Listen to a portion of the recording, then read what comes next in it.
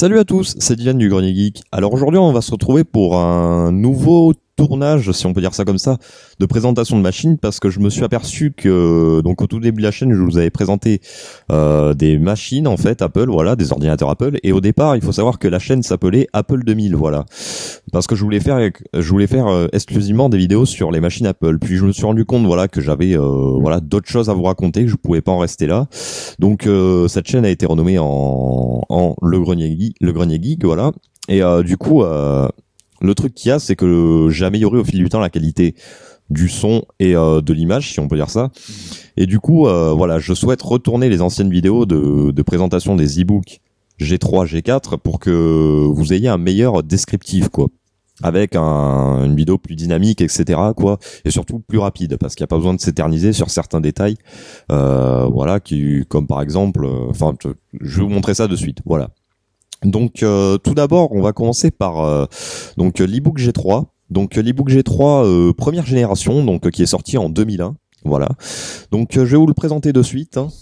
Donc je précise à dire qu'il est en veille, voilà. Donc si vous voulez voir le, démarrage, je vais bien entendu laisser les anciennes vidéos, donc vous pouvez aller voir les anciennes vidéos, voilà. Mais là il est il est juste en veille, voilà. Donc je vous représente ça. Donc voici l'ebook G3.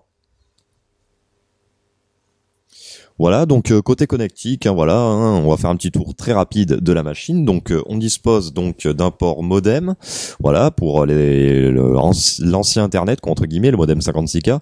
Ensuite un port Ethernet 100 mégabits. Ensuite un port euh, FireWire 400 mégabits, de port USB 2, voilà, ou USB 1, je ne sais plus trop, excusez-moi, il me semble que c'est USB 1. Voilà, un port donc de sortie sortie d'écran, voilà un port euh, jack, enfin euh, sortie jack quoi pour le, casque, pas de port micro par contre, et ensuite un, petit bouton reset voilà qui est ici. Ensuite, bon, ben, euh, nous avons une petite aération ici pour le disque dur, hein, voilà. La fermeture à l'avant. À l'arrière, nous avons la batterie avec ses voyants lumineux, voilà, comme ceci. Là, on peut voir qu'elle est chargée à 100%.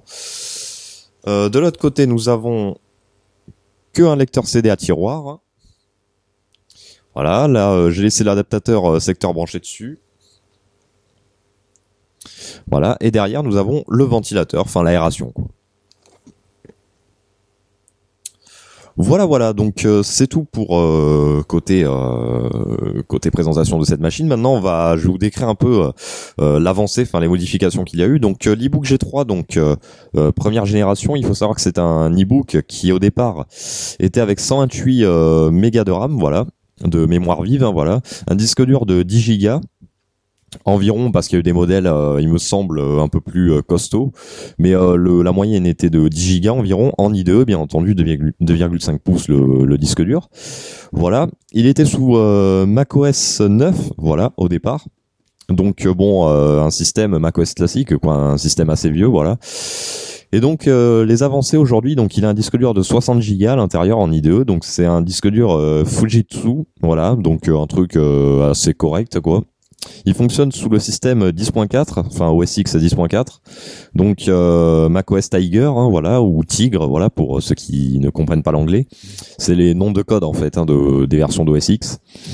Ensuite, il a 640 euh, euh, mégas de RAM, voilà celui-là, euh, c'est-à-dire qu'il y a 128 mégas soudés à la carte mère, voilà. Et ensuite, il y a un port RAM de libre, donc là, il y a une barrette de 512 qui est de la SD-RAM, hein, voilà. Donc maximum pour du PC portable, quoi, ou du Mac portable. Donc 512 de SD-RAM en, en barrette mémoire, plus ajouter à ça 128 mégas soudés sur la carte mère.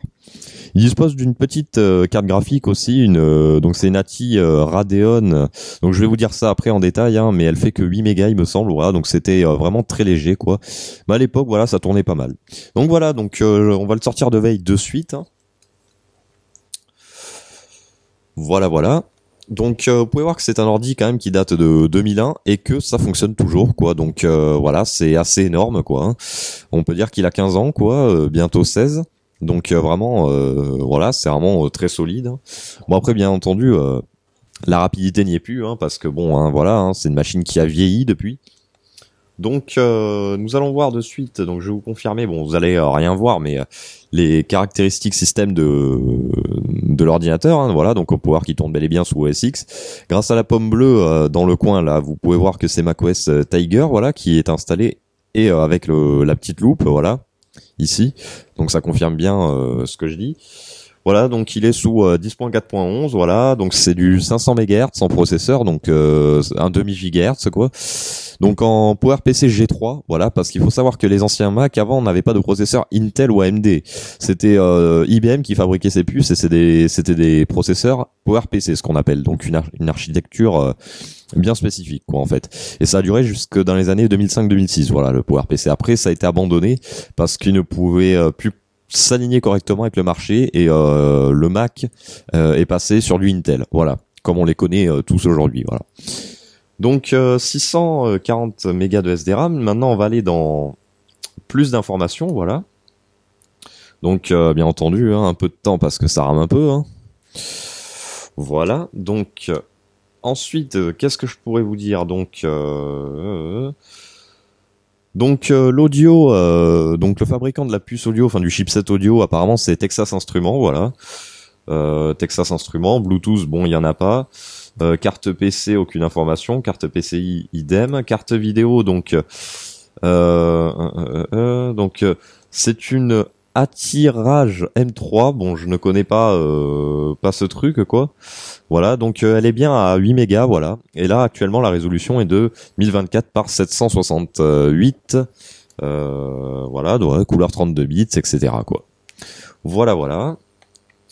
Et ensuite, bon, ben que vous dire de plus en lecteur CD, donc lecteur CD, donc je n'ai pas le fabricant là exceptionnellement. Ah si, voilà, c'est un Toshiba DVD-ROM. Voilà, donc euh, quand même à l'époque, euh, c'était vraiment pas mal. Alors la particularité des euh, de tout ce qui est lecteur CD, etc. sur les Macs, c'est que vous avez vu qu'il n'y a pas de bouton physique sur le lecteur. Sur vos PC, à vous, sans doute, vous avez un petit bouton pour éjecter. Sur Mac, ça se passe pas comme ça. Alors bon, c'est bien oui et non. Enfin, ça revient au même. Même si moi, j'aurais préféré un petit bouton. En fait, il y a une petite touche éjecter et vous allez appuyer dessus et voilà, désolé pour le pop dans le micro, mais ça ouvre voilà le, le lecteur. Voilà, voilà. Donc euh, bon, c'était le, petit truc à vous montrer, quoi, en plus. Donc ça, c'était encore l'époque des lecteurs CD à tiroir, hein, ce qu'on appelle donc un lecteur CD qui sortait, qui euh, malheureusement est toujours le cas sur euh, bon nombre de PC, quoi, quand ils en mettent. Euh, sinon, euh, Apple a vite passé sur les lecteurs manche disque, donc euh, que je que vous pouvez voir sur la présentation de l'ebook G4 ou si vous attendez un peu, je vais refaire une présentation également de l'ebook G4. Voilà. Voilà, voilà. Donc c'est tout ce que j'avais à vous dire. Voilà sur ce modèle-là. Voilà. Bon, c'est un modèle qui dure encore et encore. Donc ça, voilà, je rappelle bien encore que c'était le l'ebook G3. Voilà, première génération. Donc euh, le, premier euh, e-book quoi qui est sorti. Euh, après il y a eu le celui en forme de palourde quoi, multicolore. Je vous mettrai voilà un petit lien pour aller voir sur Google. Hein, sinon vous tapez e-book palourde, vous allez de suite trouver. Et ensuite, ben, nous avons eu l'e-book G3, voilà, de deuxième génération, que je vous présenterai un peu plus tard. Voilà. Donc, ben, moi, je vous dis salut à tous, à la prochaine.